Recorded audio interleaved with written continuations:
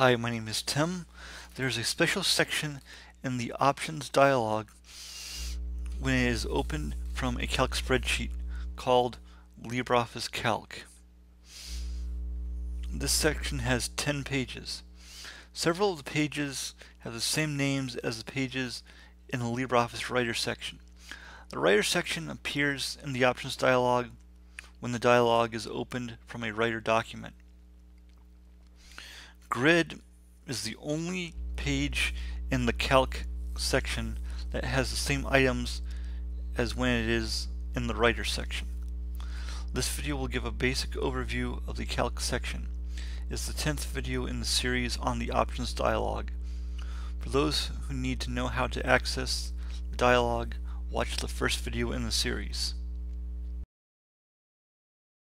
The general page allows you to activate or deactivate various items in the input settings section. It allows you to change the unit of measure for metrics. It also has se several options for updating links. Defaults page allows you to set how many sheets will be in a new spreadsheet document. It also allows you to, to give a prefix name to the new sheet.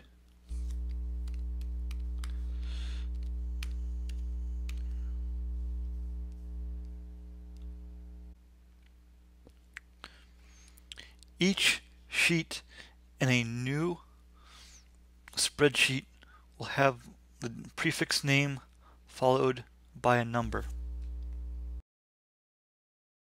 The view page has five sections, display, window, visual aids, objects, and zoom. The display page allows you to see or leave hidden various types of data that can be inserted in a cell, such as formulas and zero values.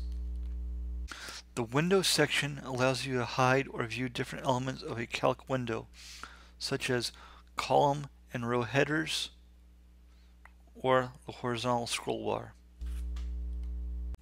Visual aids section allows you to show or hide grid lines,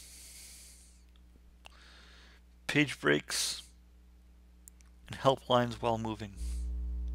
The objects section allows you to show or hide objects or images, charts, and drawing objects. The zoom section allows you to choose whether or not to synchronize the zoom on all the sheets.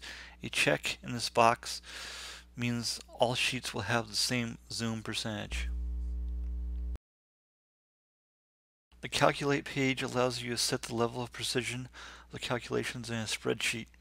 You can set the number of steps an iterative formula performs. It also allows you to specify the difference between two consecutive iteration step results.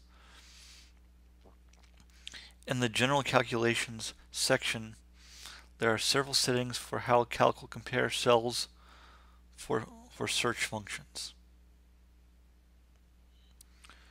Page also has three settings for the start for the starting day zero. This is how Calc calculates dates. The formula page has four sections, formula options, separators, detailed calculation settings, and recalculation on file load. The Formula Options section has a drop-down menu that allows you to set which formula syntax to use. The Separators section lets you configure separators in your formula expressions. This comes in handy when, for example, you want to separate your function parameters by commas instead of semicolons. Detailed calculation settings allows you to configure formula syntax to use when parsing references are given in string parameters. Recalculate on file load allows you to choose how calc recalculates Excel and open document documents. The sort list page shows all text-based lists that are available to a user. Lists are in the list column. Each item that is in a selected list is in the entries column. New lists can be added by, by the user. The changes page allows you to set colors for changes, deletions, insertions, and moved entries. These are for when you are tracking changes. The compatibility page allows you to choose default or OpenOffice.org legacy key bindings. Key bindings are simply key combinations that are pressed to perform certain functions. The grid helps you position objects in a document. This page has settings for the grid that is activated through the View menu.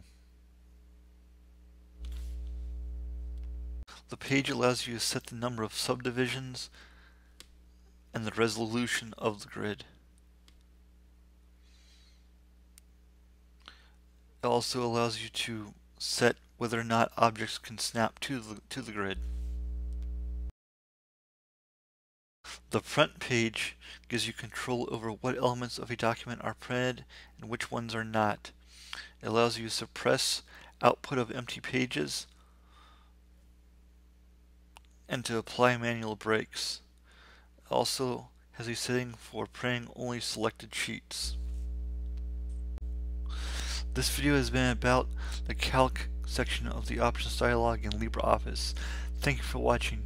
To learn more about the options dialog in LibreOffice, watch the other videos on this channel or playlist.